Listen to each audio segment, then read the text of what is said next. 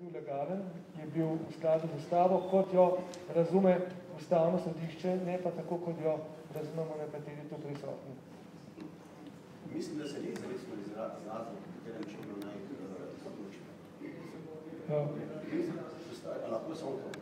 Ustavno sodišče se do tega vprašanja ali po 86 ali po tretjem A členu izredno ni izreklo. Prav izognilo se je temu vprašanju. Nasprotno, pledira na ustavnem, na, na, na, na ustavno revizijski postopek, potem naknadno, da ne bi prišli v nasprotje za to ustavo. Samo en stavek, Grega, namreč 86. člen od predsednika države do vseh ostalih plačanih, poklicanih strokovnjakov smo lahko slišali, da pravzaprav nimajo druge izbere. Ja, 86. člen določa način ratifikacije mednarodnih pogodb, zakon o ratifikaciji arbitražnega sporazuma je mednarodna pogodba in tako naprej. Ampak že dr. Jerovšek je omenil drugi del tega člena, ki pravi seveda razen, če drugačno večino ne določa ustava, potem je pa tu še nekaj. Ali zakon.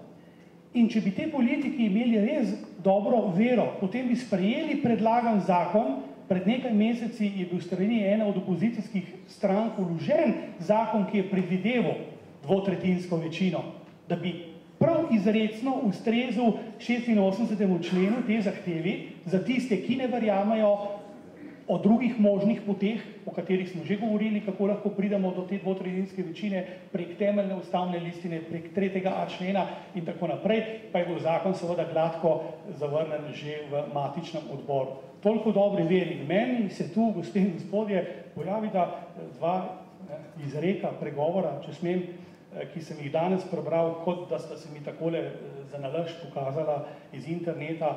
Enega je izrekel, Karel Čapek, rekel je takole, hvala Bogu, pogodba je podpisana, zdaj moramo najti pa način, da jo izigramo. Ne vem, zakaj imamo občutek, da nekdo tako razmišlja. In drugi je pa od Gustava Flobera, ki je dal pa takole, da, je, da se resnične vrednosti domovine človek zave šele tako kot družine, namreč, ko jo nima več. Ampak seveda, predpogoj je za razumevanje domovine, da imaš seveda tudi klasično družino. Hvala lepa.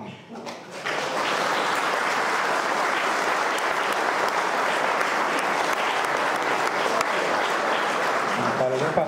No, edini, ki še nima besede, je profesor Šturam. Na pot, ko bo mikrofon na poti do njega, se bo z kratko repliko oglasil še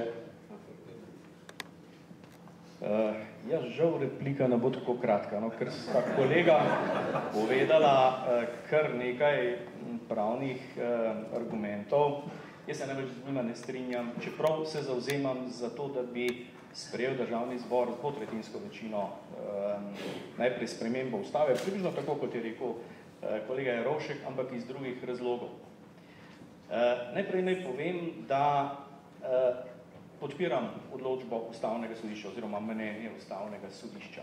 Ustavno sodišče je bilo zgolj vprašano, ali je arbitražni sporazum v nasprotju z ustavo ali ne.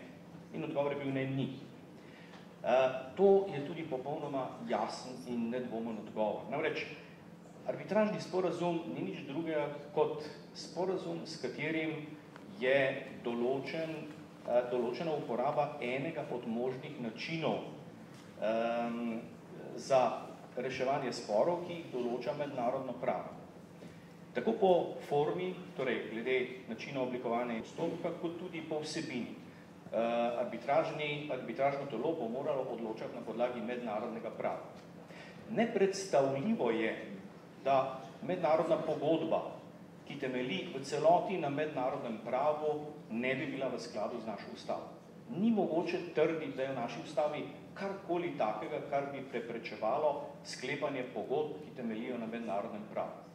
In to, morate priznati, da je popolnoma nedvoumen razlog. Ne glede na to, kaj bo končni rezultat tega. Namreč, končni rezultat je pa seveda del mednarodnega prava. In zdaj pridemo do druge točke tega. Treba je ločiti notranje pravo neke države in mednarodno pravo. Notranje pravo seveda je predmet suverene volje ljudstva tiste države. in suverena pravica urejati njena notranje razmerje. Vendar določanje meje je del mednarodnega prava. To ni ena od suverenih pravic vsake države, da po mili volji določi meje svoje države. Žal tako ne gre. Določanje meje je stvar mednarodnega prava in samo ko je meja določena na mednarodno pravno pravilen in priznav način, takrat je zares določena. Glede meje s Hrvaško imamo trenutek dve trditvi dveh mejnih držav in nič drugega. Nobene določitve v mednarodnem pravu. Zato seveda ni mogoče pravno dosledno trditi, da je določanje meje suverena pravica uh, Republike Slovenije. Ni, ker jo mora določiti skupaj z Republiko Hrvaško ali na nek drug mednarodno pravno priznan način. Tako da jaz mislim, da je bila odločitev uh, ustavnega sodišča pravilna.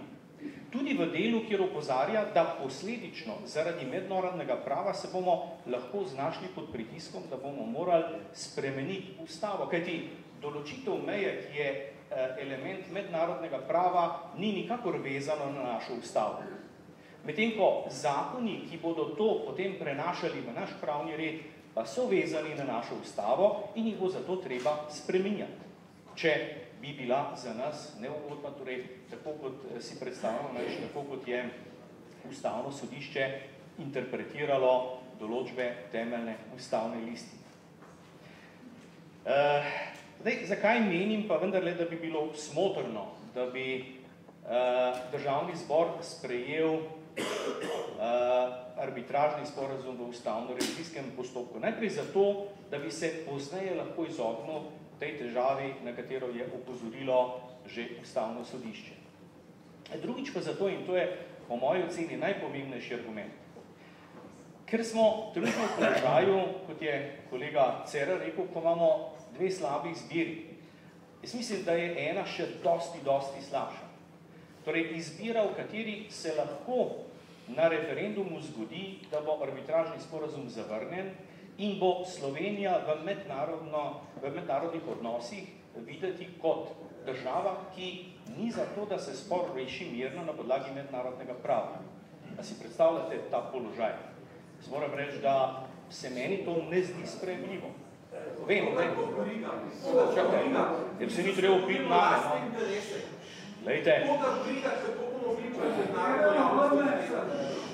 Glejte, tu bi jaz prosil, no, da se izognete tem uh, tovrstnim komentarjem. Vsakdo ima pravico do svojega mnenja.